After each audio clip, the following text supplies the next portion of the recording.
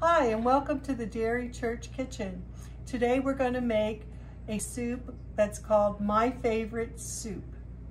And that has been submitted by Anne White, and it's in the cookbook Remembrance, Recipes and Remembrance of 1994. It's a very simple um, soup. You brown, what we're going to use is brown um, hamburger, an onion, and to, tomato juice, or you can use V8 juice if you like a little bit tangier. Two cans of cream of celery soup, um,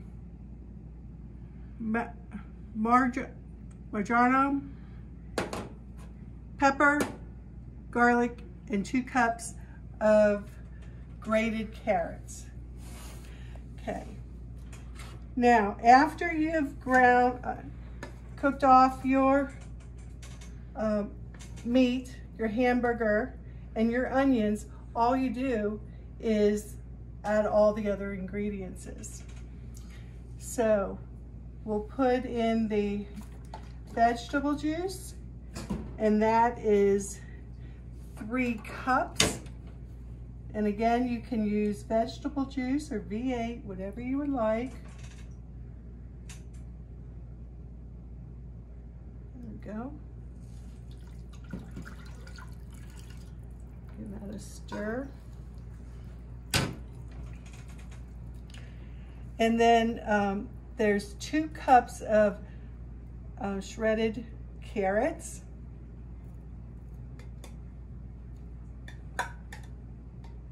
We add the cream of celery soup, two cans. Now the soup may seem very thick right now, but it will thin out.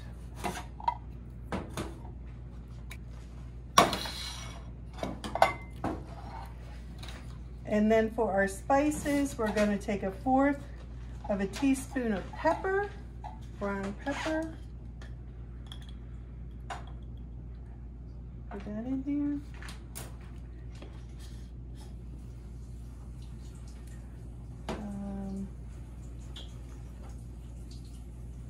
Marjoram is a half of a teaspoon.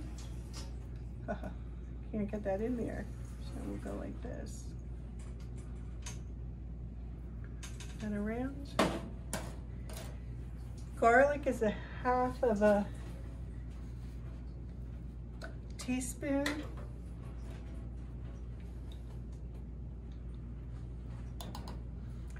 And I'm gonna need some sugar, and that's a teaspoon. Here's my sugar. And our sugar is one teaspoon of sugar. We mix this.